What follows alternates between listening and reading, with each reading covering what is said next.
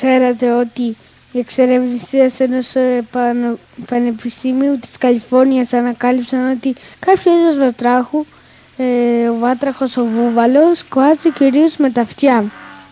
Ο ήχος του κοάσματος παράγεται βέβαια από τις φωνητικές χορδές του, αλλά και, ένα, και, αλλά και στο περίεργο βατράχι οι μεμβράνες των αυτιών λειτουργούν σαν μεγάφωνα.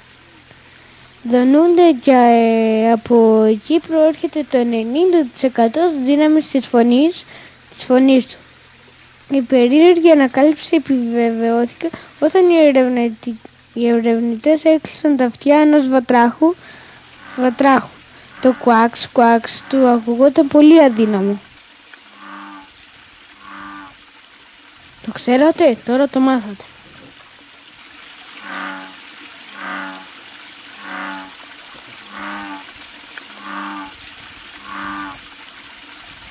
Μαθαίνω για πίστευτα και όμως αληθινά.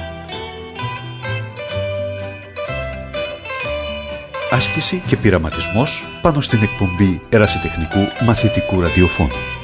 Μια εργασία του Γιώργου Πετροπογιαννάκη προς εκπαιδευτική χρήση.